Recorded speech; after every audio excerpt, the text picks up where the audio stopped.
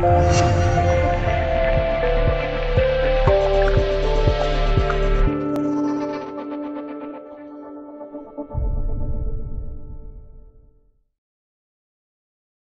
实状元并不是一个官职，但中了状元却能当大官，也是不争的事实。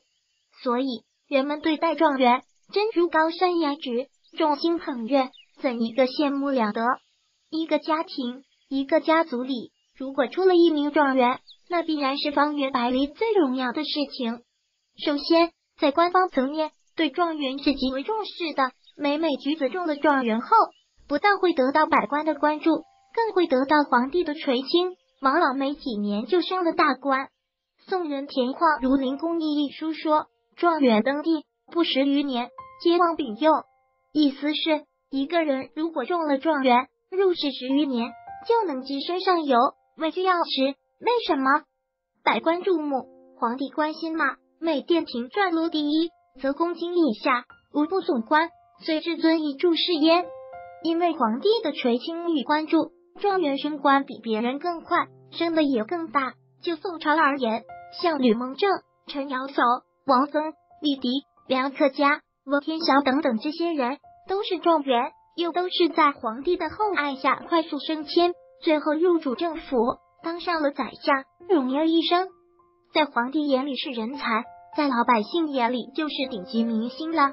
所以在那个时代，中了状元比今天的超级明星还要牛。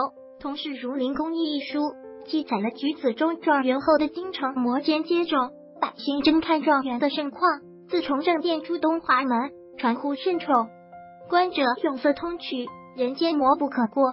只有灯屋下看者，这就是古代状元打马游街的热闹和荣光。万人塞图，老百姓为了一睹状元风采，甚至爬到树上和屋上争看，可见对状元崇拜的热情。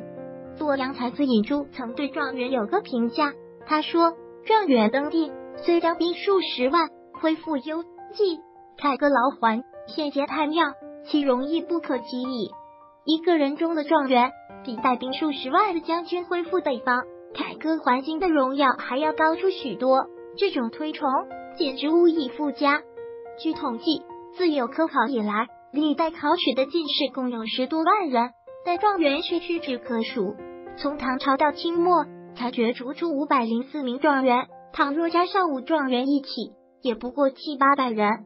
如此凤毛麟角，状元受人追捧，也是情理之中的事情。